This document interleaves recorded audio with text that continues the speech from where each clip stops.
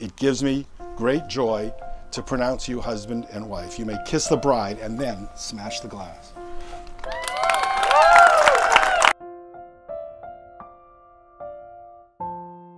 Hi everyone, welcome and welcome back.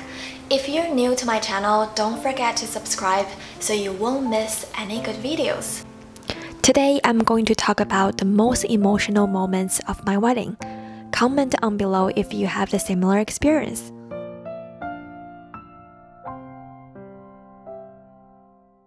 Don't think I've ever mentioned this to anyone yet. It's definitely the moment I've replayed in my head after the wedding for a million times. It's a moment when my husband and I were waiting in the hallway outside of the ballroom, waiting for the MC to introduce us as Mr. and Mrs. for the first time, looking at the direction of the door that we were about to enter. My husband and I were holding hands our hearts pounding. It's the very first thing we were going to do as a newlywed couple. It's the very few seconds that we shared only to ourselves after the wedding ceremony. The thought of it just made us so nervous, excited, and I can't wait to get through that door and start our first dance. That waiting moment was my favorite.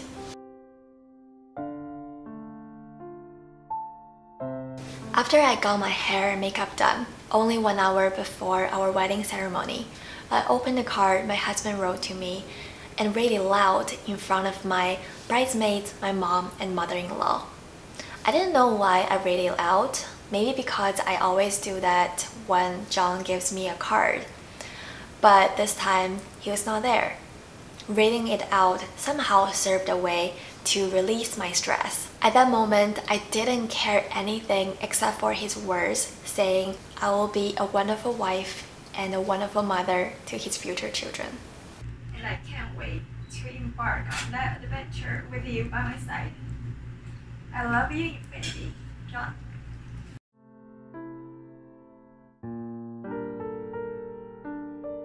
Do you remember those subtle moments you see in every wedding videos that the bride is putting on her earrings or the mother of the bride is helping the bride to put on her wedding dress? Well, let me tell you, those were pretty much all staged. Usually when it really happened, the moments were too fast or the photographer didn't have time to adjust the lighting or the setting of the camera so that moment just slipped away and the photographer usually asked the bride and the mother of the bride to do it over. The funny thing is to help to capture those genuine moments we have to do it really slow and gentle and it took me and my mom three whole minutes to pretend she was doing my buttons on my back. I found it very funny at the beginning, but when I turn around, when I look at her, my mom's eyes were full of tears.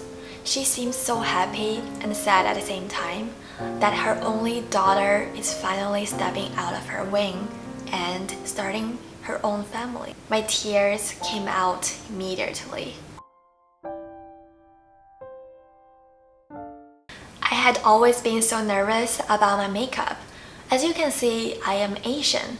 By the time I was looking for a makeup artist, every Asian artist was already booked.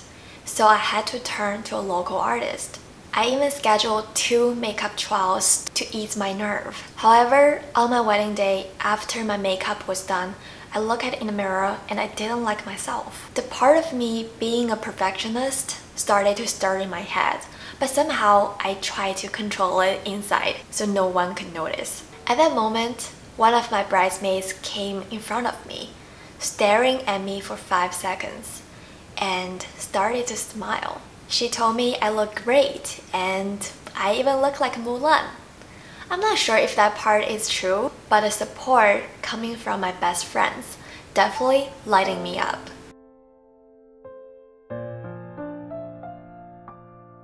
During my entire journey of planning a wedding, I think I sort of unintentionally keeping my parents outside of it. I came from a Chinese family. Both of my parents live in mainland China.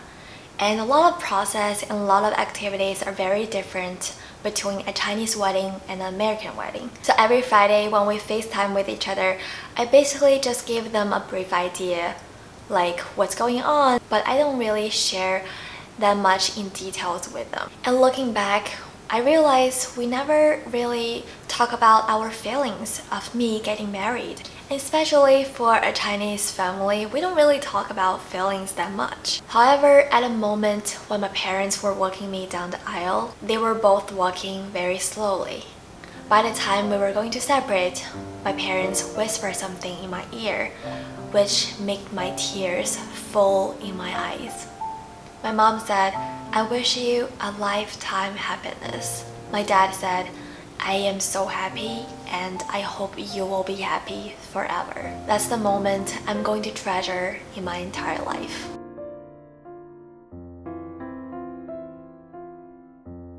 During an entire wedding, you'll realize how fast the time can fly and how many accidents can happen in those few hours. I remember during the reception when I was dancing, I realized my bustle feels weird. My dress just feels kind of dragging. And look back and notice the bustle has broken. I immediately rush back to the little like getting ready room and trying to fix it. Luckily, a few of my bridesmaids were there as well. It's very interesting that I only showed my mom and my maid of honor how to do the bustle. However, at that moment, they were both not there and only the three other bridesmaids were and I panicked and I got so frustrated. I was like, it's in the middle of the reception. It's my big day. How can this happen? However, at that time, my bridesmaids were so calm. I still remember at that moment, I was standing looking outside, just being very anxious. And my three bridesmaids, they were all kneeling down. They were like on the ground. They were trying to fix it. I felt I'm so lucky to have them as my emergency crew. And Somehow they creatively figured out how to do a bustle without even learning it.